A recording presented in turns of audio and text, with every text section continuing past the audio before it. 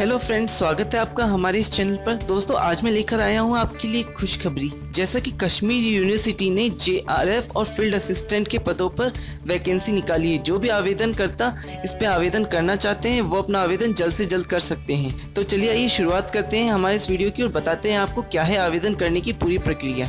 जैसा कि दोस्तों आपको बता दें, कश्मीर यूनिवर्सिटी ने जूनियर रिसर्च फेलो एवं फ़ील्ड असिस्टेंट के पदों पर भर्तियों के लिए आवेदन आमंत्रित किए हैं। इच्छुक उम्मीदवार 15 जून 2018 तक या उससे पहले पहले निर्धारित प्रारूप के माध्यम से आवेदन कर सकते हैं। तो दोस्तों, चलिए बात कर लेते हैं इस रिक्रूटमेंट से जुड़ी कुछ इम्पोर्टेंट फैक्ट्स के बारे में। जैसा कि पहला आता है महत्वपूर्ण तिथि।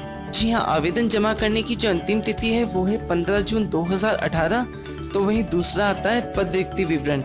जिसमें जूनियर रिसर्च फेलो के लिए दो पद रिक्त हैं और फ़ील्ड असिस्टेंट के लिए एक पद रिक्त हैं। दोस्तों, बात करें शैक्षणिक योग्यता के विषय में तो बता दें आपको जूनियर रिसर्च फेलो के लिए जो शैक्षणिक योग्यता है, वो है फ़ूड टेक्नोलॉजी में एम एस सी या एम टेक होना अनिवार्य है। तो वहीं फ़ील्ड असिस्टेंट के लिए जो शैक्षणिक योग्यता है, वो है विज्ञान विषय के साथ एल टेन प्लस टू पास होना अनिवार्य है। दोस्तों, आखिर में आता है कि आवेदन कैसे करें। तो बता दें, आपको इच्छुक उम्मीदवार दस्तावेजों के साथ 15 जून 2018 तक कश्मीर यूनिवर्सिटी खाद्य विज्ञान और प्रौद्योगिकी विभाग के पते पर आवेदन जमा कर सकते हैं।